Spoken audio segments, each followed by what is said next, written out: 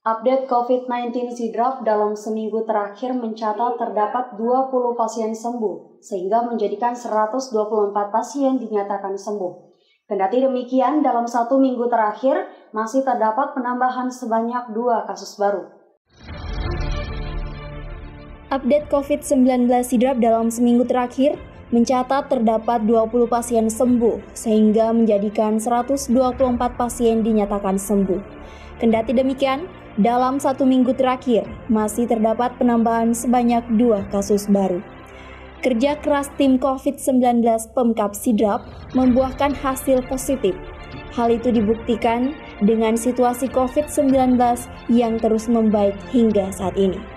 Tersisa enam kasus aktif dari 132 warga yang terinfeksi COVID-19. 124 orang di antaranya telah dinyatakan sembuh dan dua orang tercatat meninggal dunia. Hasil tersebut diperoleh dari Pusat Data dan Informasi Penanganan COVID-19 Kabupaten Sidrap per hari Sabtu tanggal 29 Agustus 2020 pada pukul 17 WITA.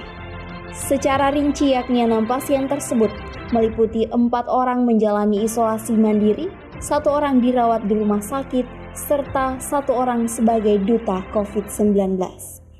Masyarakat pun selalu dituntut untuk senantiasa disiplin dan patuh menjalankan protokol kesehatan COVID-19. Penerapan physical distancing dan social distancing, penggunaan masker, cuci tangan pakai sabun, menjaga daya tahan tubuh, membersihkan rumah, dan melakukan disinfeksi secara rutin, ampuh mencegah penularan COVID-19. Dari Kabupaten Sidrap, Erwin Parolai mengabarkan.